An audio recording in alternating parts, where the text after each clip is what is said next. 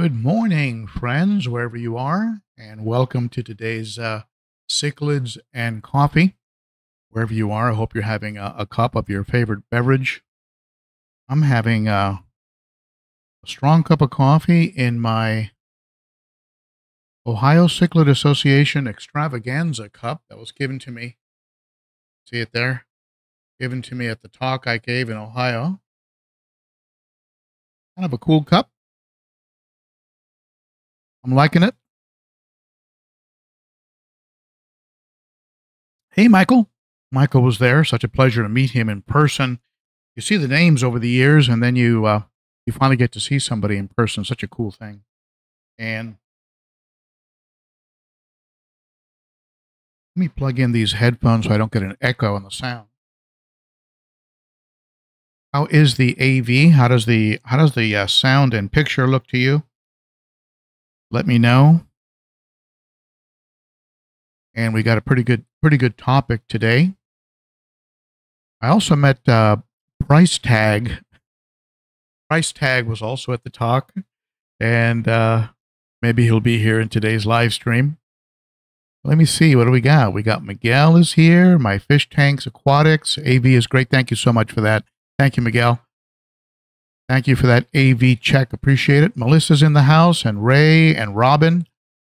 And Larry O'Brien is here. Cat Sailor. Hey, Cat Sailor. Z-Zip. Dustin. MedCow74 is in the house. Let's see here. Raz and Fishes. Paul is here. And Angelo's in the house. Great great group of fish keepers, and more of them are jumping on. And uh, Z Zip, let's see, Ray and Wet Sleeves Aquatics. Love that. Wet Sleeves Aquatics. You know, even in a t shirt, I often, uh, when you have tanks that are this high and you go to do something, uh, you're, uh, you're in the Wet Sleeves Aquatics Club. So thank you for, for showing up here today. And I saw somebody that said new watcher. Let me see. Was it Elfish? Bill D in the house. Brian Park. Vaughn is here. Vaughn Lurker. Vaughn Lurker. great name. You were at the talk. That's great. I'm glad you liked it. I, I had a lot of fun. It was more of a, um, in my mind, and you know, when you go to give a talk, you you don't know you don't know what direction I mean you sort of know but you're not really sure what direction and and feel it's going to have until you get in there and get a feel for the crowd. And and it quickly went from being a talk you know a talk to to the association. It quickly became an interactive experience where there was a lot of a, a lot of questions a lot of comments and I, I, I had I had my powerpoints and I and I had uh, a certain direction that I wanted the talk to go in. But the truth is is that is that the um, the audience ended up sort of giving it a, a different and very positive direction. I thought, and and we got into some really good discussions and and some folks later commented that they had learned something new and that, that that's always great and not even necessarily from me they learned it from comments that were made in the audience from a very knowledgeable uh, group of fish keepers, the Ohio uh, Cichlid and Catfish Association. They're also very big into catfish. So we have a um, we have a, a fun topic today, and and you know filters are um, some people take their their filters very seriously, and some people don't, but um, we're going to uh, talk a little bit about some of the comments that came came up in a survey that I did, and you know, I, I tend to be a little bit in um a little bit in a bubble, a little bit in a vacuum. I have the filters that I use, and they work for me. And I'm not doing a, a tremendous amount of um, of, of filter reviews, like new filter reviews. I wouldn't mind doing them, but I just it's just not something that seems to be part of the channel, at least not currently. So, um, you know, in my bubble, in my sort of filter echo chamber, I I have familiarity and comfort with a certain certain kinds of filters, and because of that, I can lose touch to some degree with what's going out there in the uh, in the fish keeping community. And you you know you see you see um, waves that come through, right? You see a big uh, you see a lot of talk about uh, canisters, a lot of talk about sponge filters, a lot of talk about sumps. Kind of comes through in waves in the community, and uh, I thought it'd be real interesting to just just throw something out there, like okay, um, what what filter was a filter you'll never buy again, you know, and and kind of get that feedback. In all fairness, there's also a survey up at my YouTube community page asking for your best filter. What's been your your best all-time filter? And and so we'll do we'll do a follow-up video either in a live stream or an actual video that kind of balances the topic and we'll look a little bit at what some of the some of your favorite filters are as well. Today we'll look at the ones that you're never that you never want to buy again and uh, and for whatever reason. So we'll we'll take a look at that and we'll comment. You know, we'll talk about the different comments that were made, which can always be um, can always be interesting. So let's um, let's go ahead and do the uh, the uh, the official the official start of the live stream, and you you know what that is.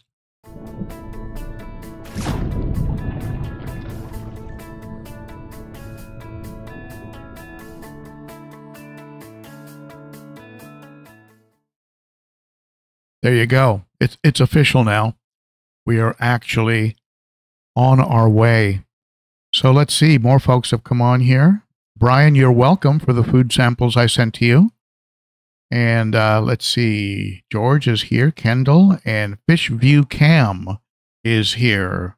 Uh, by the way, Fish View Cam, you've reminded me of something uh, with your name.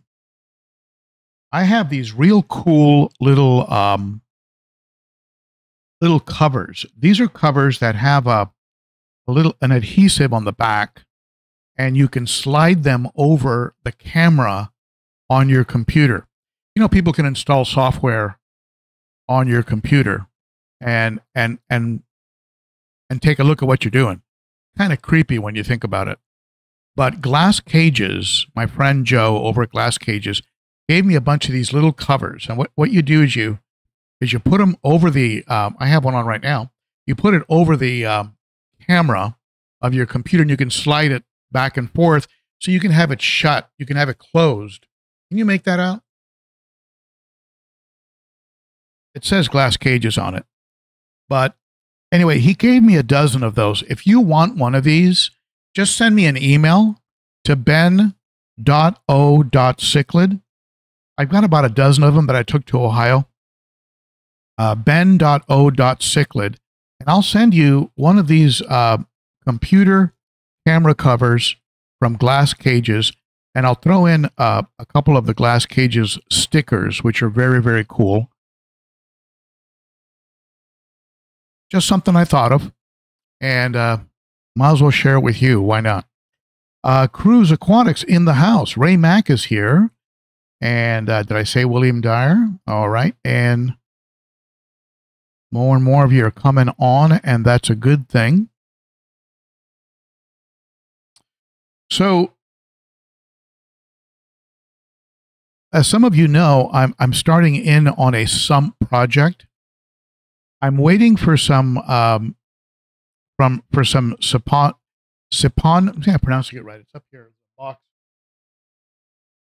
Siporax, S I P O R A X. I'm waiting for some Siporax very high quality uh, media.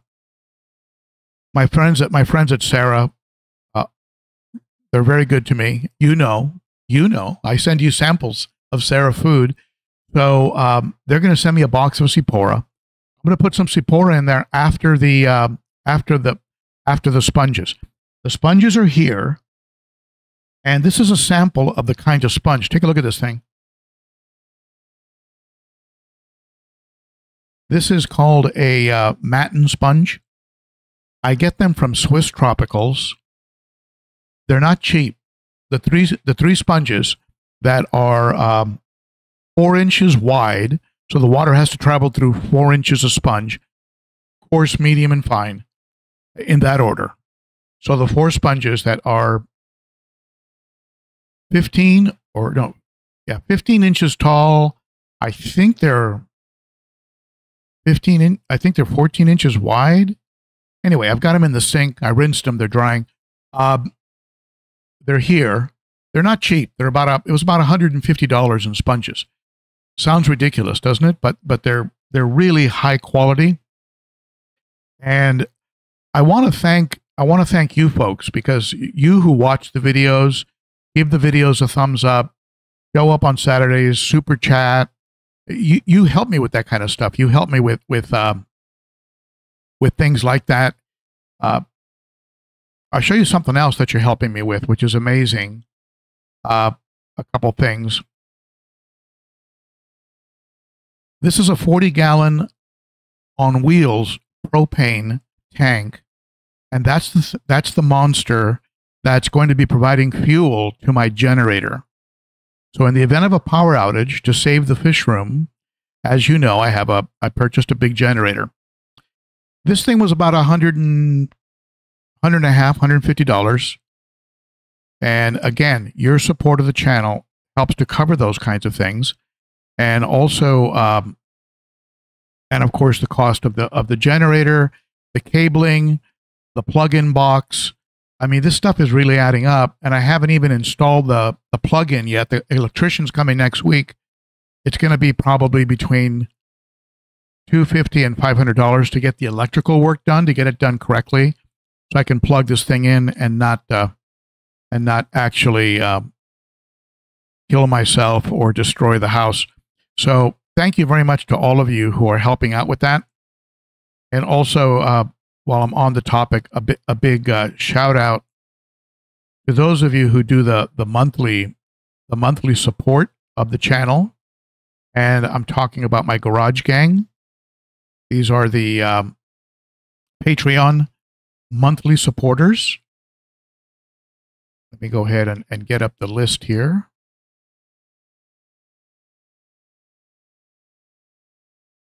There they are monthly Patreon Garage Gang members. Thank you so much to all of you who uh, who help with that.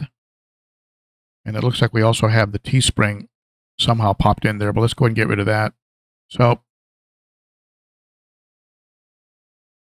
big shout out to my Patreon supporters. I wouldn't be able to do any, hardly any of the things I'm able to do. Also, thank you to all of you who visit the Teespring uh, store and pick up coffee mugs and T-shirts and stuff like that.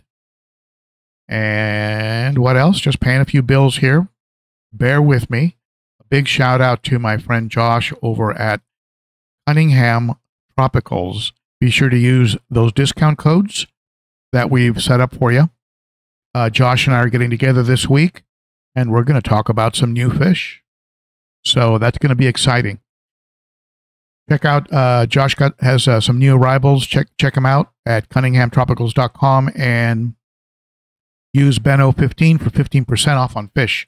That's pretty good. That's pretty good. So what else?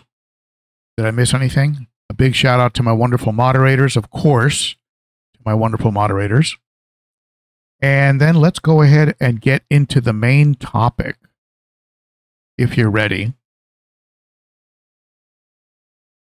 We'll start off with um, the question. This was the question that was asked. Please tell me in the comments below. This is at the YouTube community page. There's a thing called the YouTube community page, which you can visit. It's open to everybody. You don't have to be a member. And uh, I was asking for folks to tell me the kind of filter that they'll never buy again. Now, I'll tell you something just sort of a this is not a spoiler alert, but just a preview of the follow up, which is going to be what's the best filter you ever owned and why. But some of the filters, which goes to show just how subjective things are in the fish world, some of the filters that are on this list, you're going to see them on the list next week. on the best the best filter that I ever owned. It's kind of funny how that works, but uh, at any rate, this is the uh,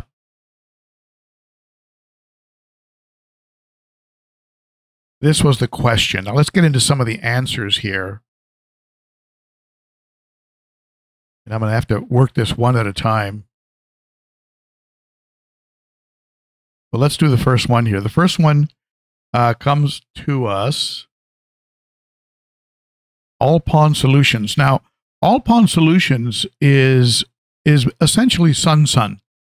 It's it's the Sun Sun European version, and I've heard that it's actually made a little better. And if you find All Pond Solutions here in the U.S., it's it's UL tested, and uh, which I guess means that it's a little bit better electronically. But All Pond Solutions, and this is uh,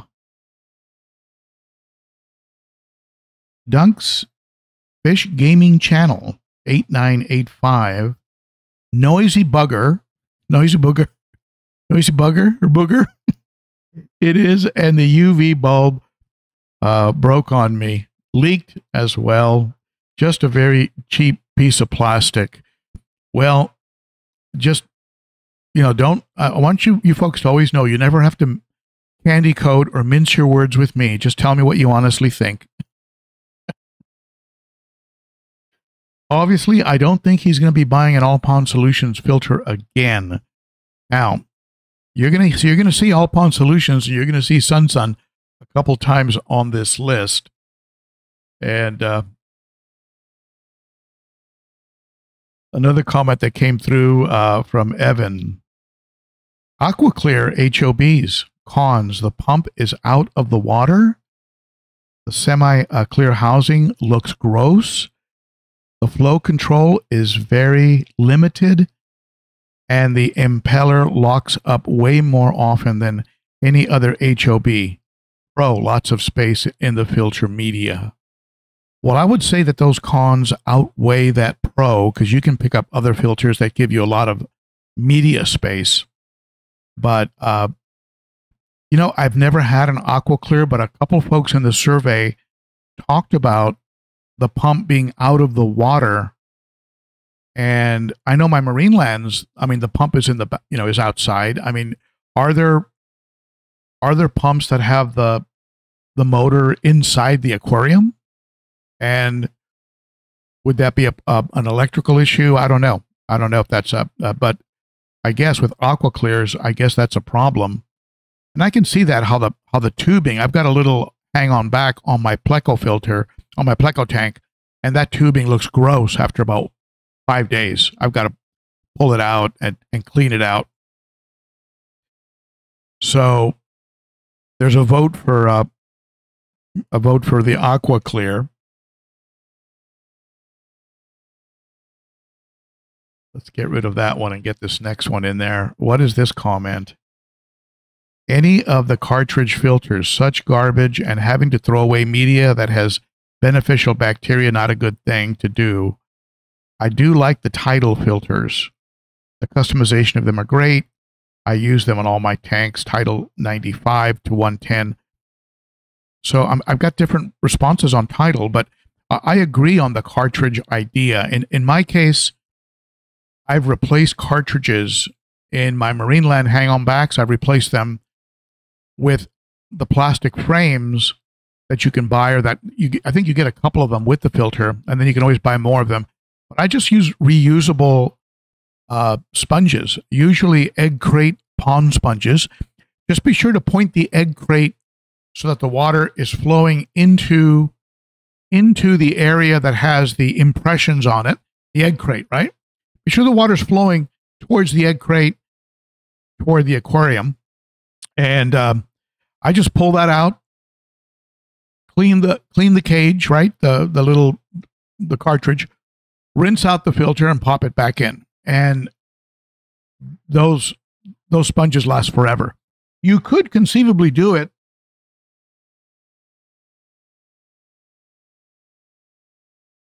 you know when you when you buy something from Swiss Tropicals, they have standard pieces of sponge that they cut for you, and they send you the leftover pieces. These are leftover.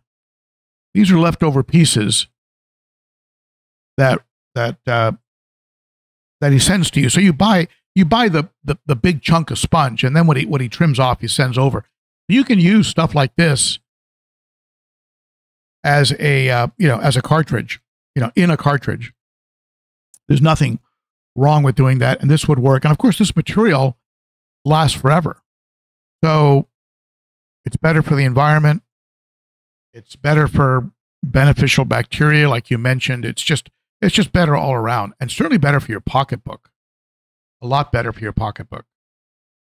Those cartridges get expensive real quick.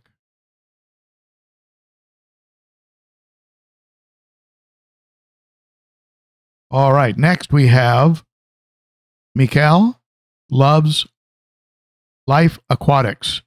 Here we go. Another vote for Sun Sun. Now you know I, I you know I use a Sun Sun 704B on this guy here. 210 gallon South and Central American tank. There's a sum that is being upgraded and replaced with a Sicce 9.0 pump, pumping a lot of water, and uh, and I've got a Sun Sun 704B. Now, his problem was reliability, falls apart fast, water flow is very poor, and will leak, and you won't even know. But besides that, it's a great filter.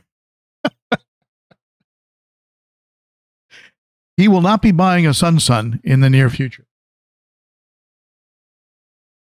Now that's the Sun Sun 3000. The Sun Sun 3000, and I think that they have a 5000. It was supposed to be the fluval killer, you know, and I don't know. It doesn't seem like it ever really got a lot of traction. But um, all of that being said, uh, and even with my endorsement of canister filters, I still keep them in big Rubbermaid, Rubbermaid tubs with watchdog water alarms. So uh, because they they they have a lot of they have several points where hoses connect uh, where the units come together. There are several seams, places where water can start to leak. And because they are positioned under the aquarium, they're like, they'll just keep siphoning and, you know, dropping your water line forever. So I do encourage you to, to have, to keep them in, in tubs, keep them in, in Rubbermaid tubs, uh, put a piece of foam under them, and that'll absorb some vibration. Don't overfill the baskets, or else you'll you'll get rattling and humming and buzzing. And um, definitely, definitely keep a water alarm. I, I like the Watchdog. They're about ten bucks on Amazon. You can uh, go to my Amazon store. I, I think I list them at the Amazon store.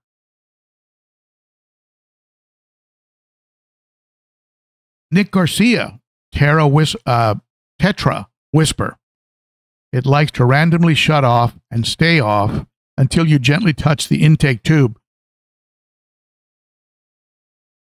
You shouldn't have to touch, you know, just like you shouldn't have to hit your TV to make it work, you shouldn't have to kick your car to start it.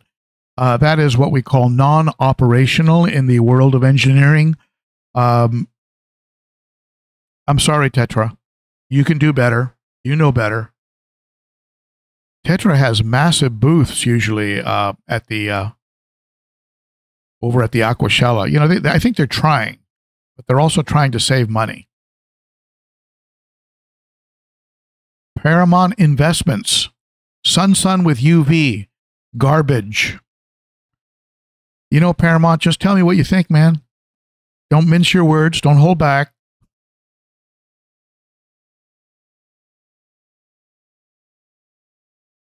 All right, full disclosure. I do not have the UV light running in my SunSun 704B. I took it out.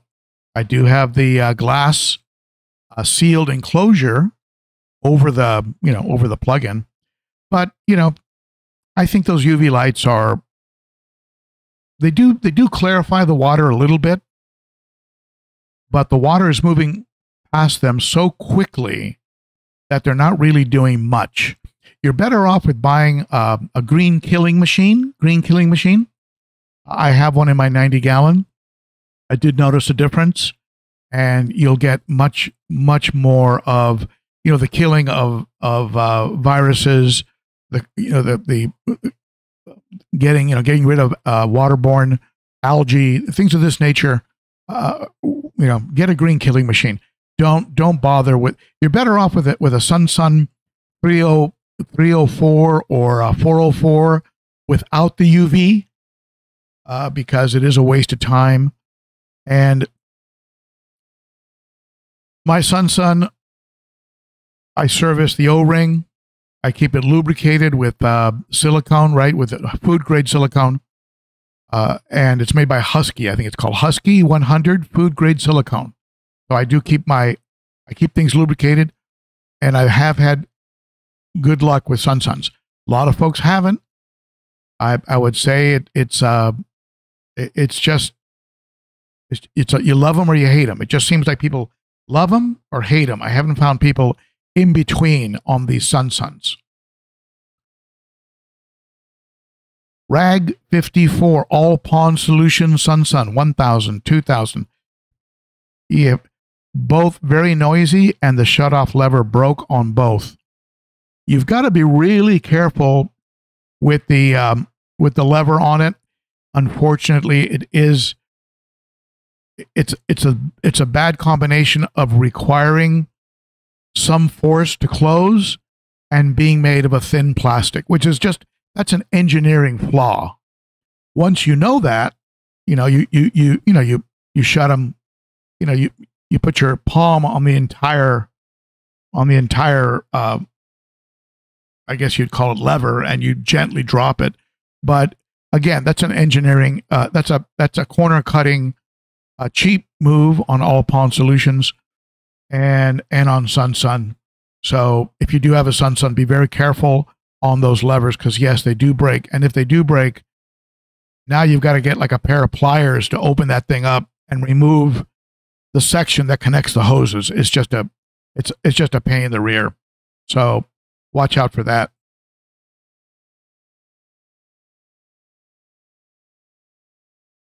Got a couple more comments here that we can talk about.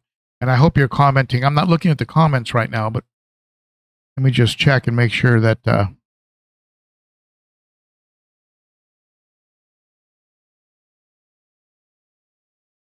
all right. Just make sure there isn't a comment there that says, Ben, we can't hear you. The uh, sound is. Anyway, hold on. So let's go to this next comment. Raz and Fishes. I think Razin Fishes is here today. Marineland canister filter. Everyone I own leaked inside the top cover where the primer pump is. I fixed them, then leak again. So they ended up in the landfill. I couldn't get them, but I couldn't give them to anyone in good conscience. Well, there you go. There you go. Now, I have the Marineland Emperor 400. I've been running three of them for many years. They've been okay, but again, uh, you know, each of us brings our own personal experience to the table. And Marineland is also one of those canisters that, that require, you know, they, they recommend that you use their cartridges. I think that's where they make their money on their aftermarket cartridges even though the, the units themselves have become a lot more expensive, like everything else. I mean, uh, what's an FX6 going for now? $425.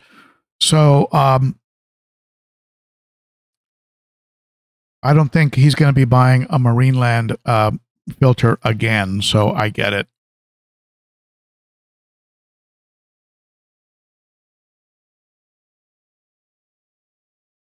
But you know, these filters, just like everything else, uh, they have to be they have to be maintained and serviced and that includes pulling out the impeller on your hang on back filters. Be sure you pull out the impeller at least once a quarter right? Once every three months. Pull out the impeller.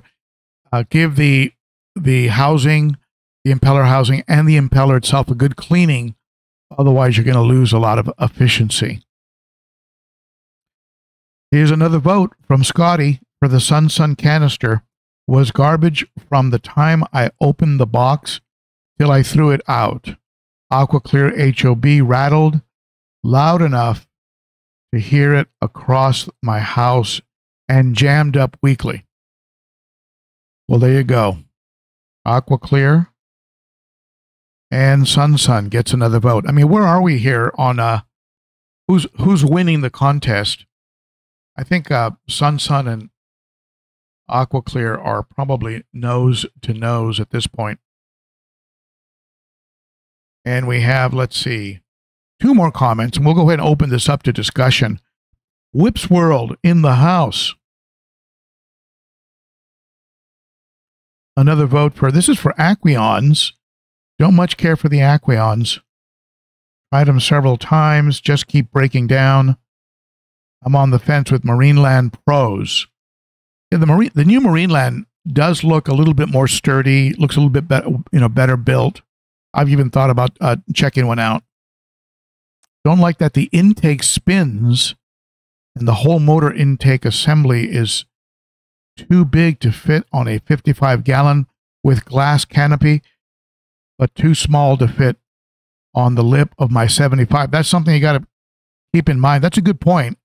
When you buy a filter, make sure that it's going to fit, especially if you have a, a Euro-Brace aquarium or an aquarium with a, with a custom type of top uh, top bracing, it, you could end up with not even being able to use it. I had a um, an acrylic aquarium in California, and it had two large two large uh, cutouts, two large rectangular cutouts on the top of the aquarium in the acrylic, and you couldn't hang anything on that. Everything had to be strung over the top and then somehow jerry rigged hold on, and it was a, a very interesting setup.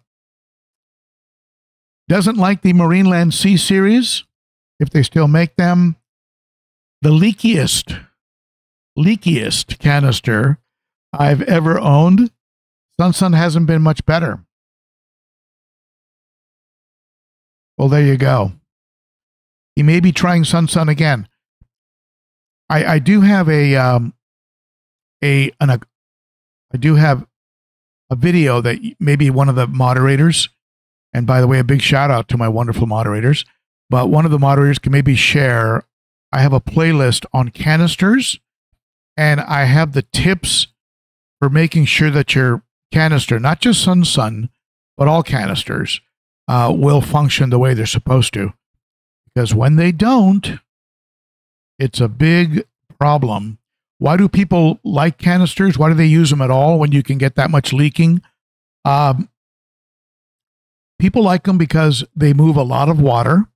They hold a tremendous amount, three, four, five times the uh, media you could you could get into a hang on back, and and they're out of sight. All you have is an intake and an output in the aquarium, so you don't have anything big and large in the aquarium like a massive sponge or something.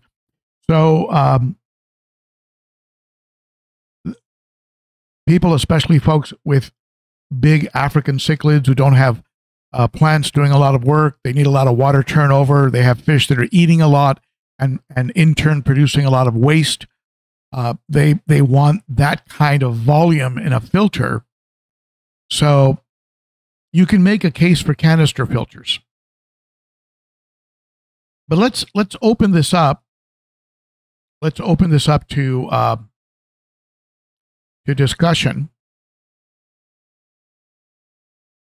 And by that, of course, I mean the chat. Let's take a look at what, what you're saying in the chat. And where is my chat? Hold on one second. Let me pull that up.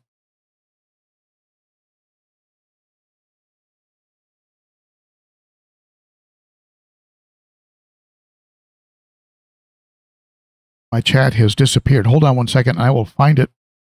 It's a matter of dropping a link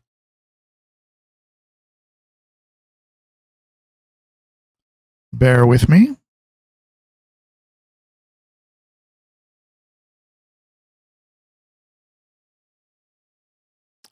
Looks like somebody hit me with a super chat there. Hey, Adam. Thank you, my friend. That will be going into my electrician fund, my next big upcoming expense. All right, so hold on. Let me go ahead and, and get this chat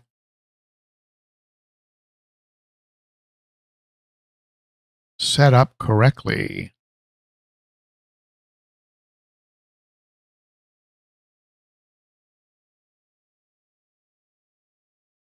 And then we'll take a look at your comments.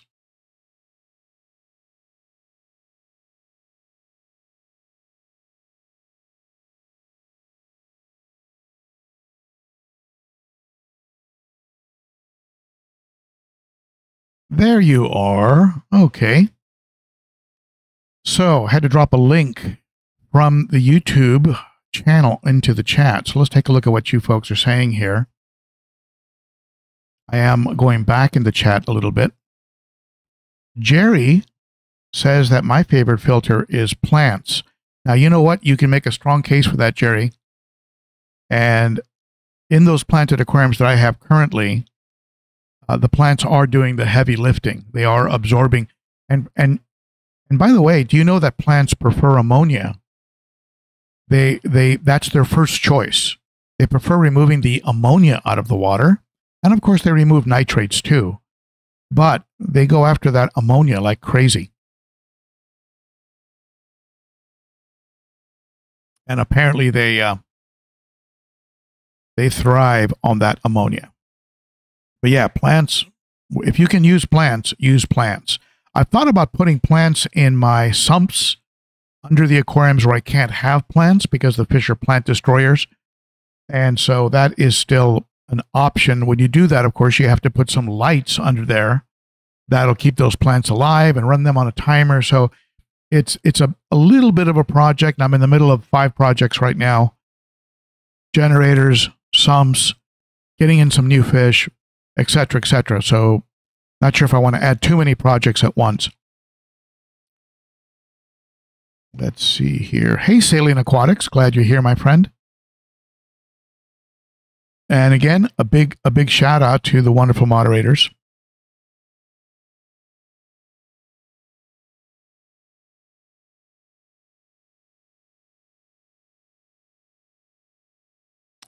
Whip says that most newer HOB power filters have the motor inside the tank.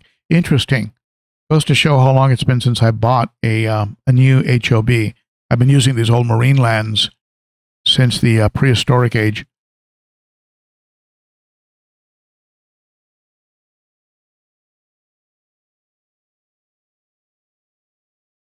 So there you go.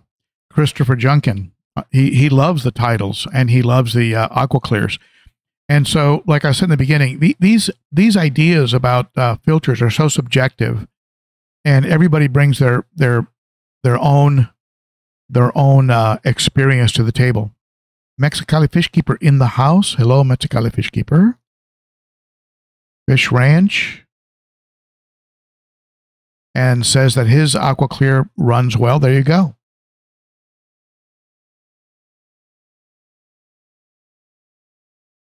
And Fish Fish View Cam is running a couple AquaClears on a 55 gallon Mbuna tank and a Sun Sun HW3000. There you go. Now, see, the funny thing is, is in a week or two when I talk about your favorite filters, I'm going to have comments about how horrible those filters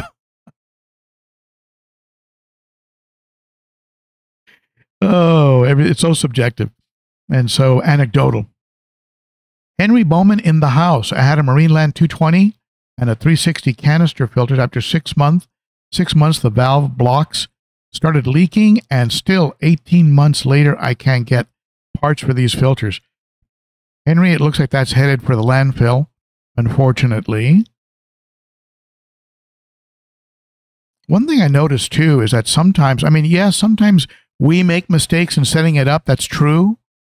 Uh, but sometimes you get a bad one.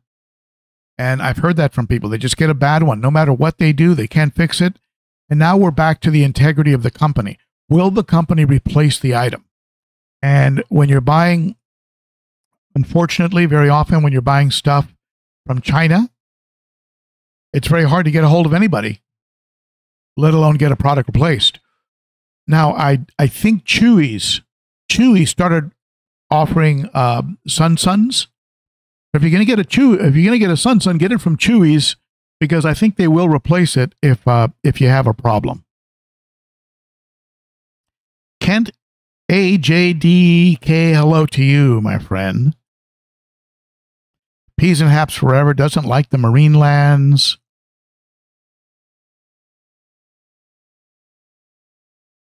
Zen Ginger in the house. Hey, Zen, good to see you.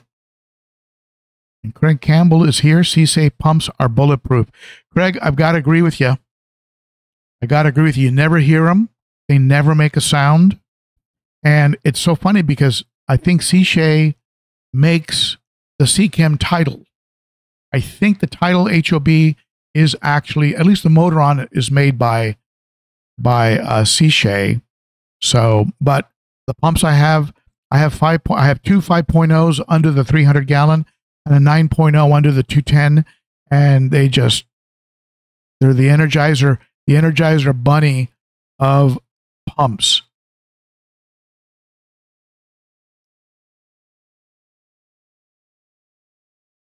It looks like somebody else threw a uh, super chat at me for the electrical, the upcoming electrical work. Let me see. Did I see a super chat? Yep, there you go, Angelo. Thank you, Angelo. That will be going directly to my electrician to get the uh, 50 amp hookup on the side of the house. Today marks two years starting my 75 gallon cichlid aquarium. All thanks to you, Ben. Don't think I could have done it without you. You rock. Thank you. That is awesome. Thank you so much for that. I appreciate that. And that's my favorite kind of comment that I actually got through and helped somebody.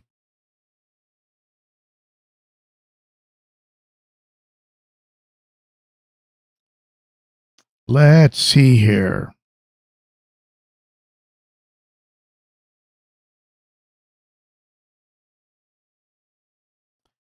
It looks like Christopher Junkin, when he was importing fish early 2000s, was using sumps on all my stingray and predatory tanks as refugiums worked like a charm in tanks that I couldn't put plants into. Yep, there you go. And if you saw the, the video of my visit to the Ohio Fish Rescue, he has an above ground uh, swimming pool as a sump. And then he has like a 500 gallon drilled acrylic tank holding all the media. So all the water dumps into this, you know, 500 gallon acrylic drilled acrylic tank with a tube coming out of the side of it it goes through there, dumps into the swimming pool. And that swimming pool has these uh, pothos plants, these just a jungle of plants that are are helping to extract ammonia.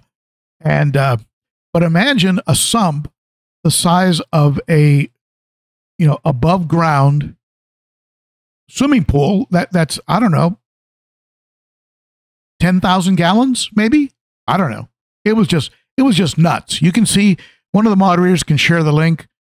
I, I I, was just I was just in awe. You know, I mean, you look at you look at this. I'm putting in a an upgraded 38 gallon sump under this aquarium. I mean, get your wits get your wits around a 10,000 gallon sump. 10,000 gallons. I mean, you could go in there and swim, and that's the sump, adding water volume and uh, probably there was a settling pond. The water would go through this long stream, which I think was like a settling, like a settling pond or a settling stream kind of a thing. It'd go through this long stream with plants.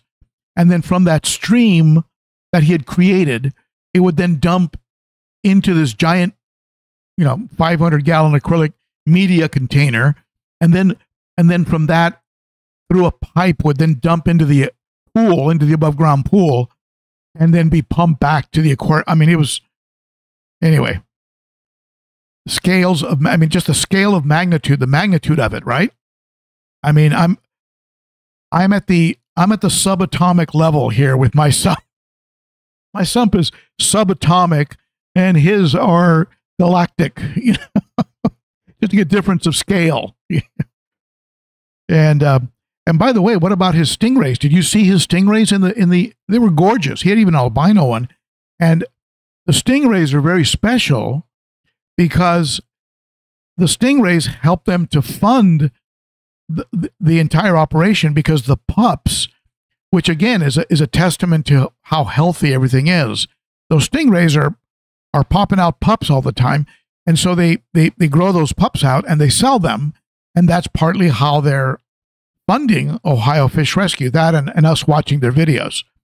But um, my goodness. The sump that I'm setting up here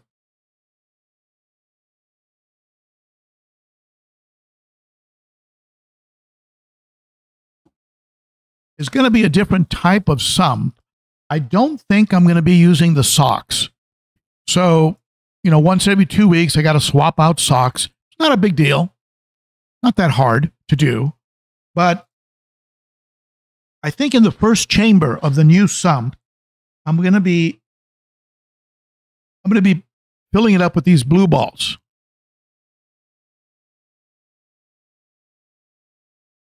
Now, don't start with the Ben's blue balls jokes.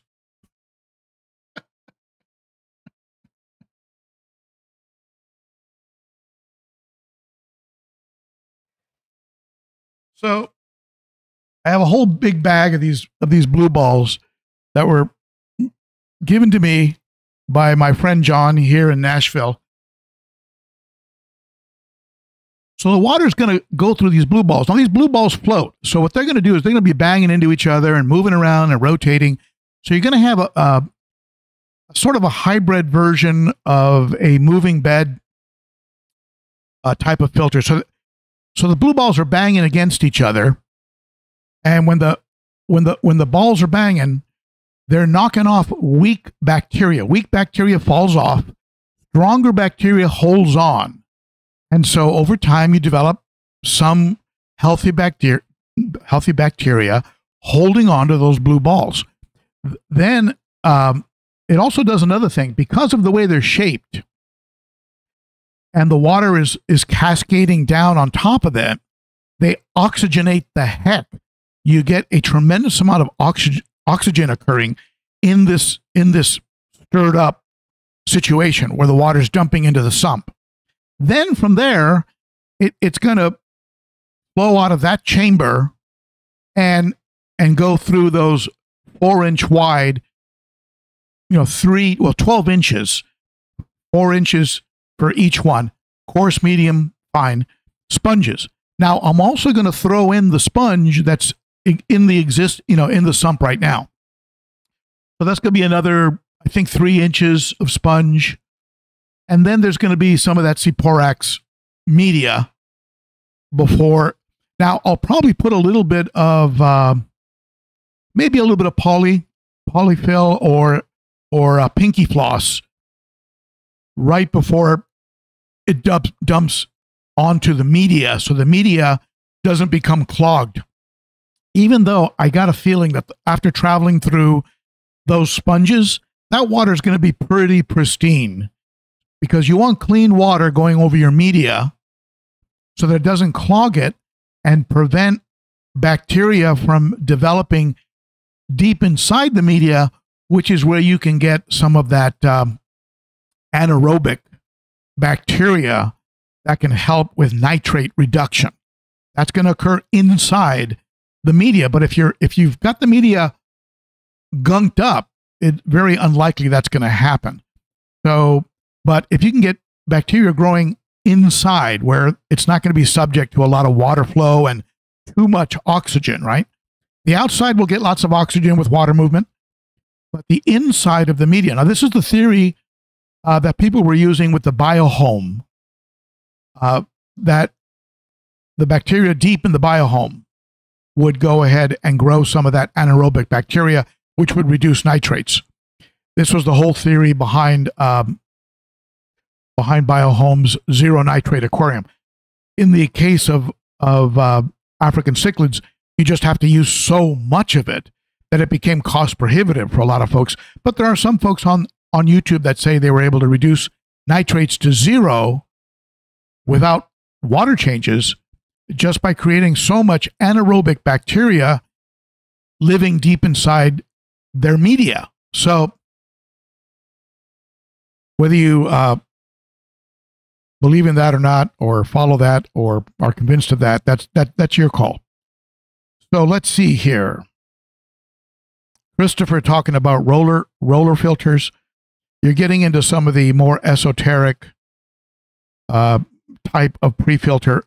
The roller filters are a, a, a strip of cleaning, just a strip of material that the water hits and it rotates. You it, like the way you pull down sheets in a bathroom, you know, you pull that sheet down, it's coming off of a roller and it it can actually be set up in some of the higher, more expensive ones, can be set up automatically to move, you know, to gradually move over time until it gets to the end of the roll. Then you pop the roll out, put another one in. And so now you're talking about a very high end uh, component in a sump filter. And certainly you got an aquarium with, you know, five to ten thousand dollars worth of corals. You get a roller mat, you get a refugium, you you know, you get, you know, you get all the, all these different things in your in your sump. I don't this is a very basic freshwater aquarium. I don't need those bells and whistles. So let's see here. I'm going back to your comments.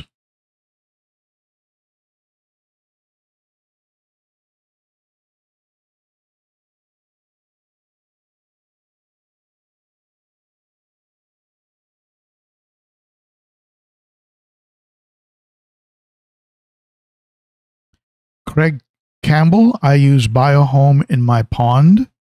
How's that been going, Craig? Are you getting a good result? I mean, BioHome, when I used it in California, I used uh, BioHome. I used Marine Pure.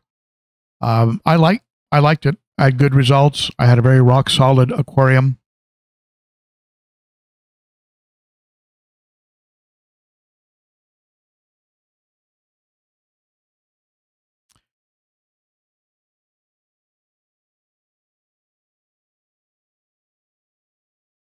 Somebody says they love their you your their underground filter. My fish tanks, tank aquatics. There's let me tell you, if you have plans, underground filter is amazing because you're actually it's like you're you're uh, turbocharging and high high speed delivering nutrients to your plants, and that that's that's a good thing. Adkins Nature Aquariums.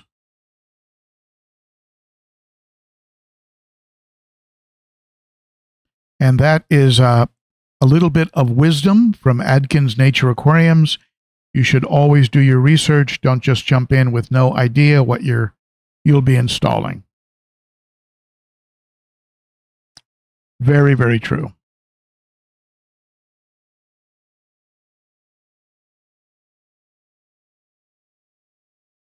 Fish Eye View Cam. very, very cool. And don't forget, don't forget,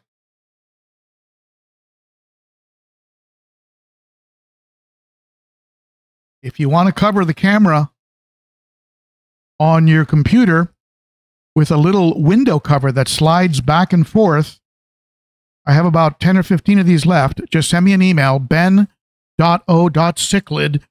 at gmail, and I'll send you one of these glass cages it has a little peel and stick on the back, and then you just slide it back and forth to open the camera. So nobody's watching you when you don't want them to be watching you. Brian Hahn in the house. Hola, amigos. Hello, Brian, one of my Garage Gang members.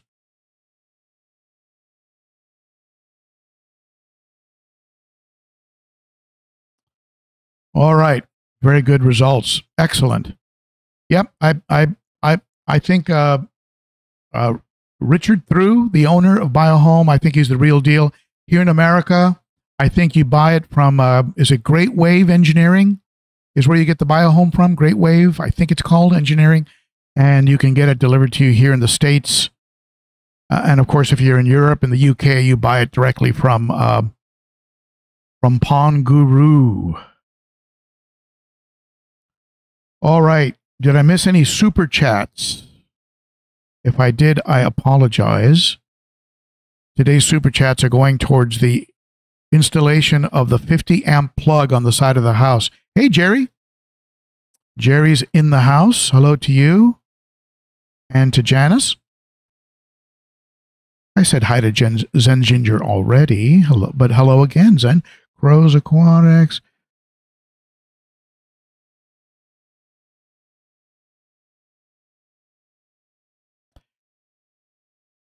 Wet Sleeves Aquatics. I use Sunsun 704B. That's what I have running here on my 75 gallon. The only thing is the UV light doesn't last for more than a month. Now, when I was using the UV light, when I had the UV light in the unit, I was only using it on weekends. I would just turn it on the weekend, turn it off, you know, turn it on Saturday morning, turn it off Sunday night. I, did, I didn't run it 24 7 because, yeah, you'll burn it out. Even my uh, green killing machine, UV light on my 90 gallon, I don't run it all the time. It's on the it's on a separate timer. I had it on the on the timer with the lights. Now it's on its own separate timer. It runs for 6 to 8 hours a day. Now, that being said, if I end up putting discus in that aquarium, I probably will run it constantly and repay, replace the light maybe every every 5 or 6 months. Replace the UV light, which could get expensive, but not as expensive as losing $100 a piece, uh, you know, discus fish.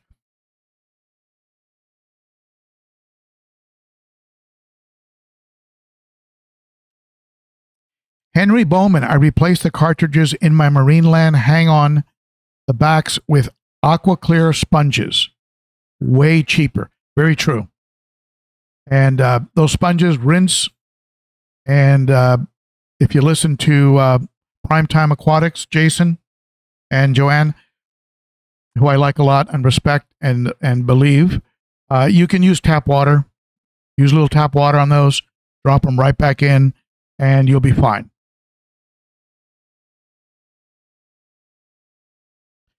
Uh, Fishview Cam, Otis, Ortis leak detector alarm shuts the power off to the canister. Now you see that that's a little bit uh, more high tech than the watchdog. The watchdog will give you a, lo- a loud shrill to let you know something is wrong, but it doesn't hook up to any kind of power shutoff. So that's pretty good.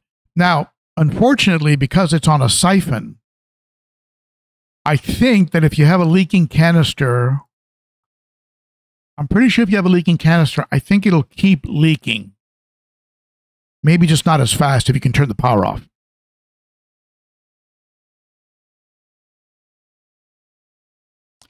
MNC Aquatics. He hates canisters and sumps. There you go. For every opinion, there is it's like a, a law of physics. For every aquar- uh, aquarium care opinion, there is an opposite but equal counter opinion. Quantum Aquatics. All right, let's see. P's, the pH and hardness meters. Zen Ginger if you use a filtration system with UV, don't you have to kill filtration to medicate or do other treatments, or is it not enough to matter? I've never actually used one, so not sure. It will kill, uh, you know, spores, bacteria, viruses. So you probably do have to treat it the way you would treat chemical filtration like um, and uh, things like that, even even activated uh, you know carbon, you do have to take it out of the equation while medicating. That would be my my guess. Not so, not something I've given much thought to or had to think about, but I it would make sense because one of the things in UV is it does kill uh, it it does kill particles in the water column. I imagine it could neutralize medication. You know, when when you buy medication, when you buy meds, Metro or Prozi, things like that, you know, there's usually a phone number. And I've done this. I've called and also I've fired them an email and and usually, you know, even Seachem, they'll usually get right back to you with uh, any question that you might have. Like, why do I have to medicate for the full volume of the tank when I'm only changing out 10% of the water when I'm going directly from tap to tank? You send them that question, they'll send you a very nice explanation why that's the case. And it'll make total sense. Salient says, that the instructions say to shut off UV. Yeah, there you go. I think that would be the case.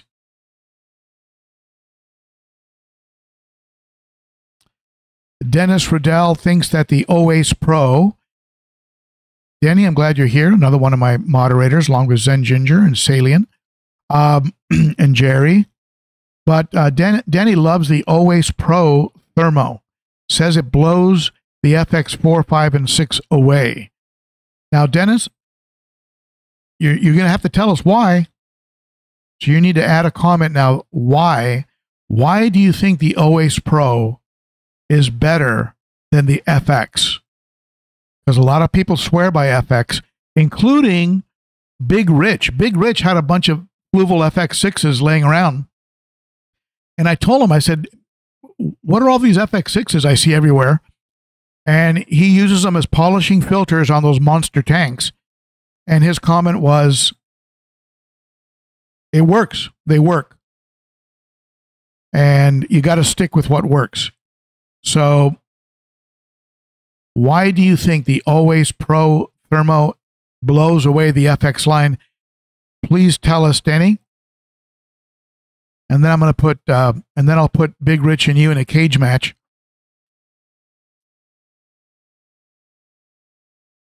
Welcome to the party, Les. Ozzy the Oscar. GP. GP, did I say hi to you already? I'm very glad you're here, my friend.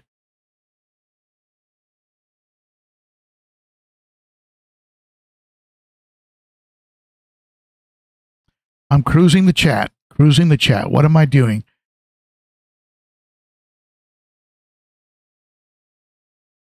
Vincent, is it Foti? Vincent Foti, 302 for five years. Is that a Sun Sun 302? Most affordable canister have replaced the gasket and the impeller valve flip and pressure flaps, all due to normal wear and tear. Five years, that's good. I ran 302Bs I think there were 302Bs, two 302Bs on a 60 gallon in California for four years. No problems at all.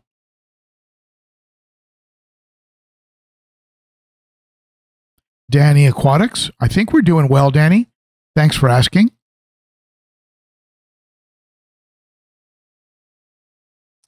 Craig Campbell, the dreaded blue dials on the Tidals. Not sure what those blue dials blue blue dials are.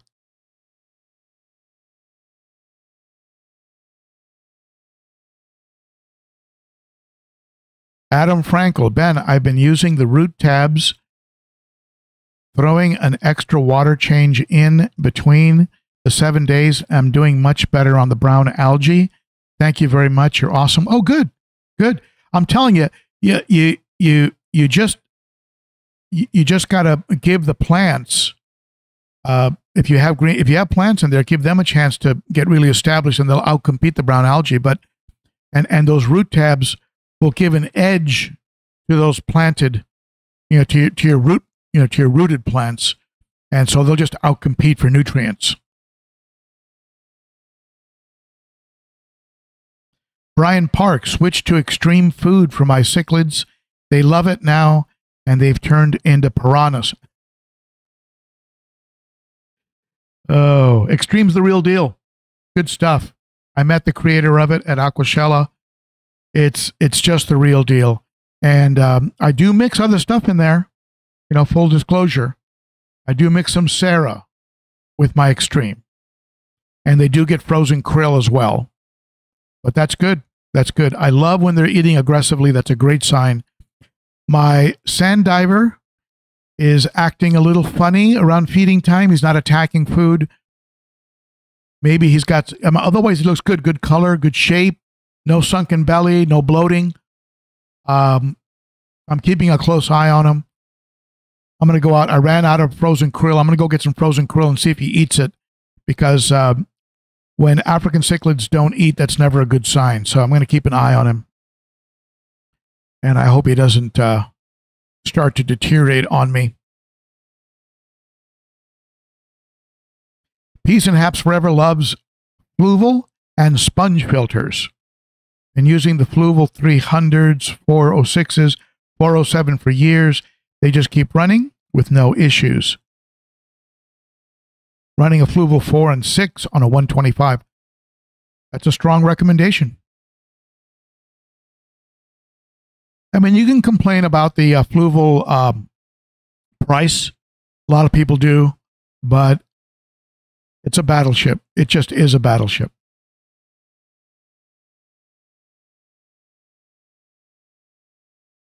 Aquaball's in the house. Hey, Aquaballs, good to see you there, buddy.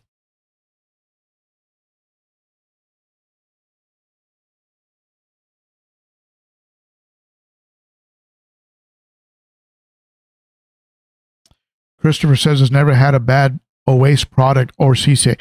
I, I love the, the Seachem products. I haven't had Oase. I, I would consider getting an Oase canister based on the on what I saw. Aquashella, they look very well built.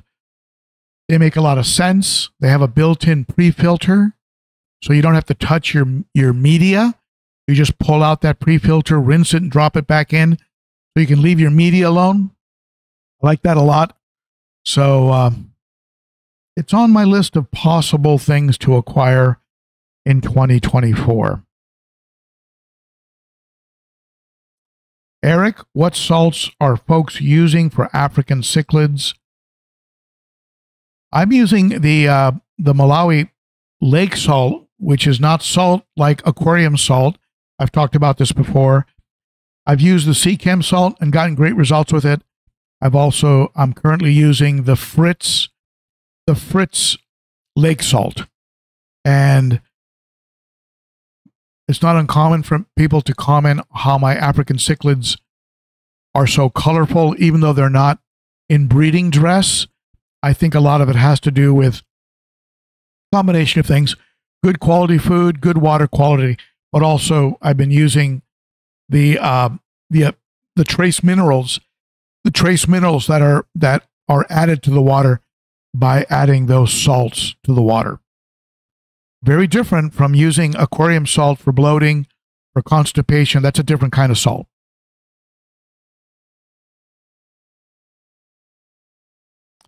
Uh, Craig, I am thinking about a uh, a refugi- refugi- refugium live plants. I've thought about that, but as I mentioned earlier, it does require having some plant lighting, things of that nature. It's it's it's on the list, but it's it's near the bottom of the of the 2024 list.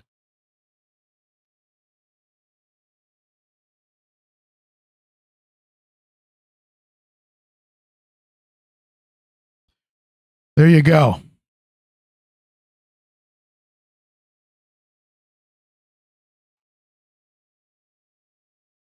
Big shout out to all of you who are here today watching the live stream and have hung in till the end. Big shout out to my moderators and to those of you who are members of of the uh, Garage Gang Patreon supporters. Big shout out to you. And uh, this week, I'm not sure what videos I'm going to be releasing this week. I have some product reviews that I'm very overdue on, and I probably, assuming I get that the uh, Siporax from my friends over at Sera. I'll probably be releasing the uh, the sump in you know the sump video. I've got to check the plumbing to make sure the plumbing lines up right. Because I have what are called unions. Unions are things that you can loosen and then turn the pipe and then tighten them again. So it gives you a lot of flexibility in your plumbing.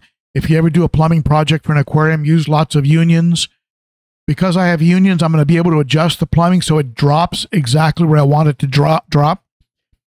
The only question I have is is the soft plumbing, the vinyl plumbing that I have, is it going to be long enough? Because right now it's it's you know it's it's it's of a perfect length, but it but that 29 gallon is a lot shorter. So I've got a the return pump is in a is in a further away chamber. So I'm hoping that that it's long enough. I'm going to push the, the, the sump against the side wall, not so it's touching, but close underneath the cabinet. So the, the hose should reach. If not, I'm going to have to replace that hose. The hard plumbing, I'm not worried about because I've got the, the unions and I'll be able to adjust the hard plumbing so the water falls where I want it to fall. but um, the soft plumbing, I might have to go out and buy some vinyl hosing and add a little more length to that hose. We'll see. We'll see. Fingers crossed. So, uh, thank you to all of you who super chatted. Again, that money is going into my 50 amp installation for my backup generator so that I feel a lot more confident in the event of a power outage. I don't lose everything. And thank you to all of you who have supported the channel by becoming Patreon members and you've helped me to buy these big units that I'm moving into a 12,000 watt uh, generator. Uh, I think it's peak watt 12,000 by Duramax and uh, running watts 9,500 running watts. That's going to run a lot more than just the fish room. I think it'll also run a good portion of the house as well. So that's going to be a, a, a great backup generator. At any rate, thank you, everybody. You're the best. And I will see all of you next week at the same time, uh, assuming, uh, you know, God willing, the creek don't rise. And uh, you rock, my friends. I'll see you next week. That's it for me. Let me bring up the final screen here, and you folks can go enjoy your weekend. Have a wonderful weekend, and I'll see you next week.